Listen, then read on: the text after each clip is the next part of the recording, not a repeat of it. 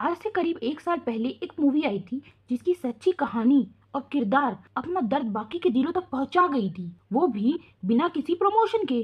कहते हैं ना कंटेंट में दम हो और इरादा नेक हो तो कामयाबी मिल ही जाती है। भाई, लोगों ने बोल बोल कर थिएटर तक पब्लिक को दिया था और गवर्नमेंट उसे टैक्स फ्री करने के लिए मजबूर हो गई थी। आप समझ गए होंगे मैं किसकी बात कर रही हूँ? Mass genocide based film the Kashmir files. आज भी कुछ वैसा ही कंटेंट आया है, जिसके बारे में बात करना बहुत ज़रूरी है। इस मूवी को बैन करने की मांग बहुत से एक्टिविस्ट ग्रुप ने की थी और भाई कोर्ट में पटिशन भी डाल दिया था। पर कोर्ट ने उसे खारिज करते हुए कहा था, जब सेंसर बोर्ड ने पास कर दिया है तो भाई फ़िल्म रिलीज़ होगी।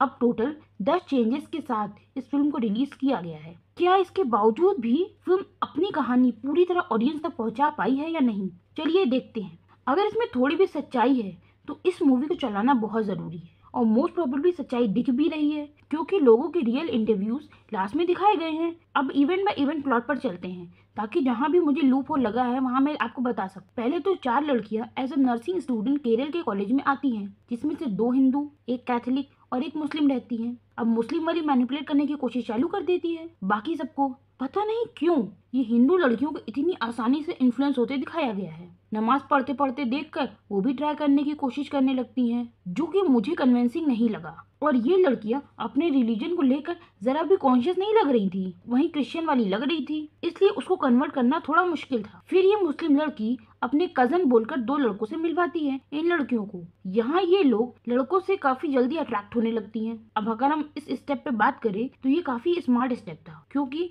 जो लड़के मिले थे, वो एमबीबीएस स्टूडेंट बोलकर मिले थे। और ये काफ़ी हद तक सच है भाई, कि लोग अपने से बेटर की तरफ़ बहुत जल्दी अट्रैक्ट होते हैं। जो कि फ़िल्म में हुआ भी, फिर ये दिखाया गया कैसे ये मुस्लिम लड़की बाकियों को हिजाब पहनने के लिए कन्विंस कर लेती हैं और भड़काना चालू कर देती हैं अपने रिलीजन के लिए। एक तो दिखाया ऐसे गया है, जैसे इन हिंदू लड़कियों को सनातन धर्म की बिल्कुल भी नॉलेज नहीं है। संस्कृत स्पीकिंग होने के बावजूद देन फिर प्रेग्नेंट कर देते हैं और मजबूर करते हैं आई एस आई ज्वाइन करने के लिए। अगर हम मूवी के पॉजिटिव पॉइंट पर आए तो तीन टाइमलाइंस को बहुत ही ज़्यादा स्मार्ट वे में दिखाया गया है।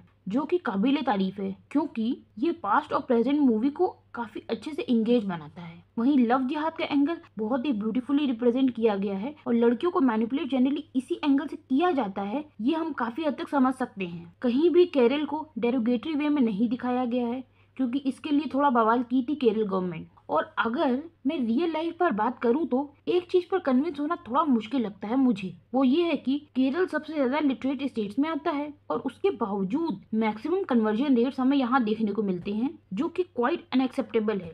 अब ऐसे ज्ञान का क्या करेंगे भाई, जब अपना दिमागी इस्तेमाल नहीं कर पा रही हूँ? Adah Sharma performed very well and very good attempt to explore the reality काफ़ी ब्रूटैलिटी को अच्छे से दिखाया गया है। केरल की सीनिक ब्यूटी को अच्छे से दिखाया गया है। कहीं भी बहुत एब्यूसिव लैंग्वेज का इस्तेमाल नहीं किया गया है। तो भाई, आप आराम से फैमिली के साथ जा सकते I would definitely suggest go and watch the film it's of two R eighteen minute मैं इसको फाइव में से थ्री पॉइंट फाइव स्टार दूँगी।